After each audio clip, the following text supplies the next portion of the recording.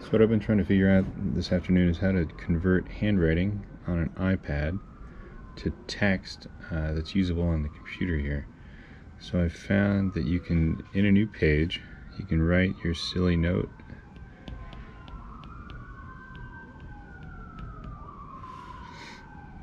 Goes here.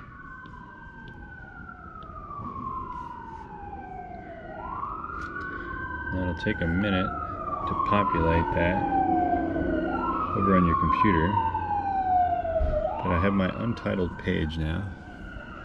My silly note that goes here. I can come over and in draw, I'll select the lasso tool.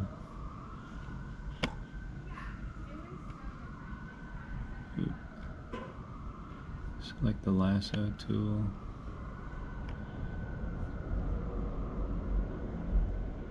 Select it all and then treat selected as handwriting.